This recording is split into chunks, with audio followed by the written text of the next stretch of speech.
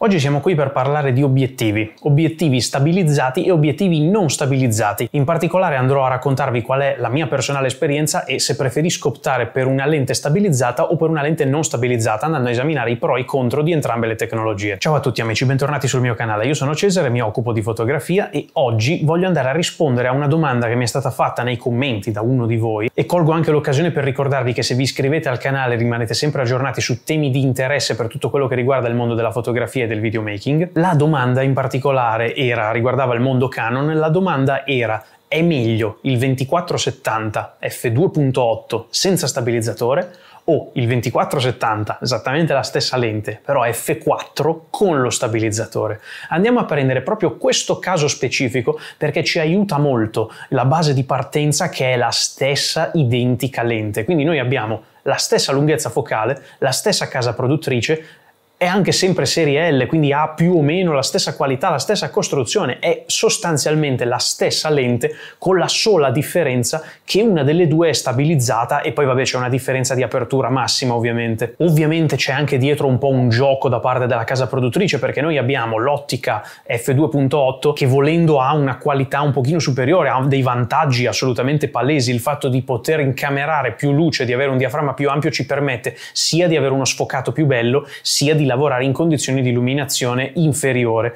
La versione stabilizzata però non è tutta da buttare via, perché anche se parte da F4, quindi parte con un diaframma che già di base è più chiuso, quindi entrerà meno luce, avremo più difficoltà a sfocare lo sfondo e avremo più difficoltà a lavorare in un contesto di luce difficile, però ha lo stabilizzatore. Per cui a parer mio noi non dobbiamo ragionare in termini di una lente è meglio, l'altra è peggio, noi dobbiamo ragionare in termini di quale delle due soddisfa i miei bisogni, perché i bisogni possono essere diversi. E attenzione bene, è possibile che vi servano entrambe perché può succedere anche questo. Io per esempio ho sia il 2470 f2.8 che il 2405 f4, li uso tutte e due e li uso per cose molto diverse. Quindi capite bene che la domanda quale dei due devo comprare non è di facile soluzione, perché a seconda di quello che facciamo può essere che ce ne serva una e in quel caso è facile, si va su una delle due, ma può essere che ci servano tutte e due e lì sono dolori perché dobbiamo comprarcele entrambe. Andiamo a cercare di capire a che cosa può servire un'ottica e a che cosa può servire l'altra. Partiamo dal 2470 f2.8. Stiamo parlando di un'ottica che è più rivolta al fotografo, infatti essendo priva dello stabilizzatore è meno adatta a fare video, perlomeno video a mano libera, se poi stiamo ragionando su fare cinema, quindi mettere la camera su una rotaia, avere tutto un setup, un rig, determinate cose, si può fare video benissimo anche con un'ottica priva di stabilizzatore, è ben inteso, però nativamente l'ottica non è pensata tanto per fare video, è pensata più per fare fotografia, fotografia di qualità, magari fotografia di reportage o di cerimonia, con quell'apertura di f2.8 ci permette di lavorare anche con un'illuminazione non proprio ottimale e questo è un grosso vantaggio. Ora, se da un lato la costruzione dell'F2.8 è magari più pregevole perché ci consente un'apertura maggiore, dall'altro lato però abbiamo un'ottica che è dotata di uno stabilizzatore. Lo stabilizzatore è una componente che solitamente tira sui prezzi. Quindi parlando in ambito generico, è molto probabile che quando andiamo a comparare un'ottica con una buona apertura e un'ottica stabilizzata, alla fine andiamo a pagare due cifre simili, perché le due ottiche non sono in diretta competizione l'una con l'altra, attenzione, se stiamo parlando di un mercato fatto da professionisti o amatori evoluti che sanno quello che stanno comprando. Ovviamente per un amatore totale, amatore totale legge 2470 e giustamente non sa quale dei due prendere, anche perché magari non c'è tutta questa differenza di prezzo tra le due.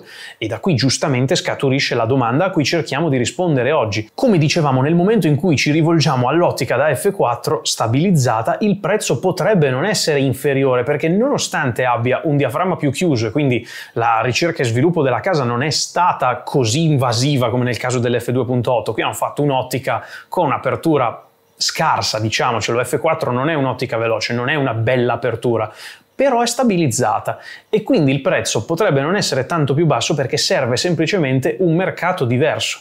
Infatti nel caso dell'F2.8 noi andiamo su fotografia diciamo di qualità. Se stiamo parlando dell'F2.8 di, di, serie L per Canon o comunque della serie diciamo professionale anche per altre case, stiamo andando sul mercato professionale per quanto riguarda le foto, quindi foto di reportage, fotogiornalismo, cerimonie, battesimi, matrimoni, tutto quell'ambaradan lì. Nel momento in cui andiamo invece sull'F4, in certi casi può costare di meno, quindi può sembrare che sia un'ottica meno professionale che non sia rivolta ai professionisti, in realtà si rivolge semplicemente a una tipologia diversa di professionista, in particolare particolare le ottiche da F4 a parer mio si rivolgono da un lato ai professionisti che fanno video. Nel mio caso per esempio io uso tantissime ottiche da F4 o anche superiori per fare video. Nel, in questo momento io sto utilizzando un'ottica che fa F4 F7.1. Un'altra ottica che uso tantissimo è il 1435, anch'essa da F4 stabilizzata.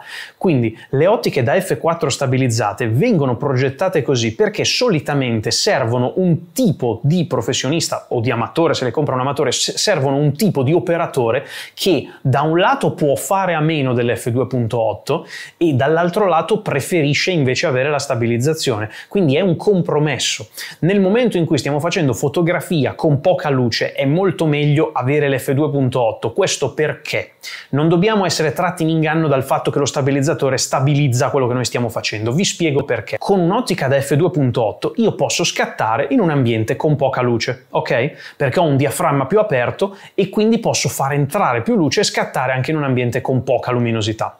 Se io viceversa sto scattando con un F4, significa che uno dei miei parametri, il diaframma, è stato spostato ed è fisso. Io con un F4 non posso scattare F2.8 e questo significa che dovrò per forza di cose alzare i valori ISO o diminuire i tempi di scatto. Questo che cosa significa? Da un lato significa che aumentando gli ISO perderò della gamma dinamica e avrò magari del rumore che potevo evitare se solo avessi avuto l'F2.8. Dall'altro lato uno potrebbe essere portato a pensare e funziona, eh, badate bene, uno potrebbe essere portato a dire va bene, ho l'F4, quindi sono un un po' in deficit di luce, ma io che cosa faccio? Attenzione, gli ISO li lascio dove stavano. Magari stavo lavorando a ISO 100 con l'F2.8, lavoro a ISO 100 anche con l'F4. Però che cosa faccio? Dilato i tempi di scatto perché ho uno stabilizzatore che mi permette di scattare con dei tempi di posa più lunghi. E questo è giusto, eh? Attenzione, è giusto, non è sbagliato. Questo è quello che faccio io quando scatto in bassa luminosità col 1435. Quindi per tenere gli ISO più bassi possibile, ovviamente senza incorrere nel micromosso, ma conosco i miei limiti, quindi so fin dove posso andare, per tenere gli ISO bassi o per tenere il diaframma chiuso, perché io spesso e volentieri scatto F8, per tenere gli altri parametri come li voglio, io posso permettermi di dilatare i tempi di scatto, perché tanto lo stabilizzatore mi permette di farlo. Con il 1435 F4 io posso permettermi di scattare a un quindicesimo di secondo a mano libera, è tantissimo, è eh, un quindicesimo di secondo, con le ottiche non stabilizzate non ce la faccio. Con quest'ottica riesco a scattare a un quindicesimo di secondo, che è veramente tanto tempo. Però questo lo posso fare solamente se sto scattando un soggetto statico. Perché? Se io sto scattando un soggetto statico, fate finta, un'architettura o sto facendo foto di interni, il mio soggetto statico sta fermo. E quindi io sto abbastanza fermo da catturarlo, ma il mio soggetto a sua volta sta abbastanza fermo da essere catturato. È tutta lì la chiave. Se viceversa il mio soggetto si muovesse, quindi se io stessi scattando a un quindicesimo di secondo una persona che si muove, perché le persone non stanno ferme, io sto facendo una sessione di ritratto o magari sto scattando una cerimonia, quindi gli sposi che fanno cose, che si danno il bacio cose del genere, sto scattando a un quindicesimo, verranno mossi. Lo sfondo sarà giusto perché io sto fermo, so come fare, sto fermo, ma loro verranno mossi perché in un quindicesimo di secondo il movimento viene catturato.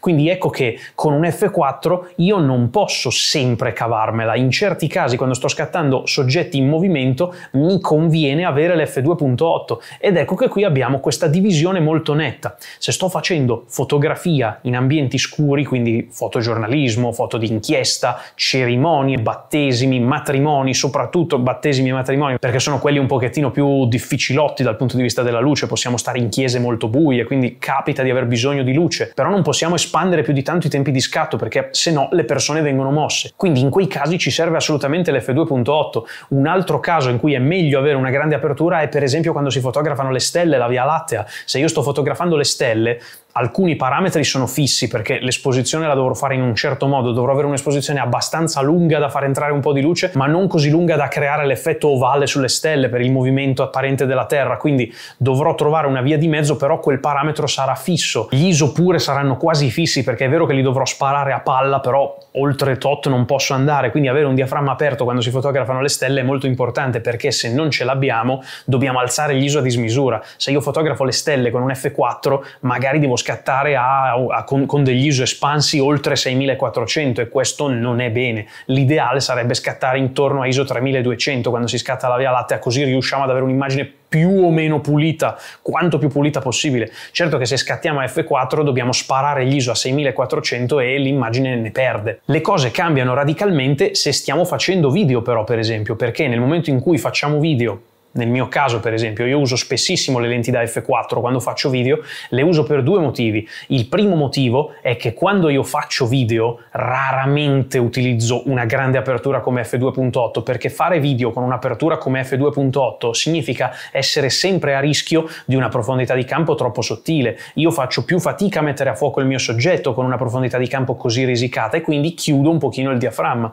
Quando faccio video spesso e volentieri sono in luce controllata, quindi non mi serve avere f2 2.8 perché posso gestire l'illuminazione. Addirittura mi capita spesso, anche quando faccio video o quando faccio foto di interni, mi capita di lavorare con dei diaframmi molto chiusi, come magari f7.1 o addirittura f8 f11.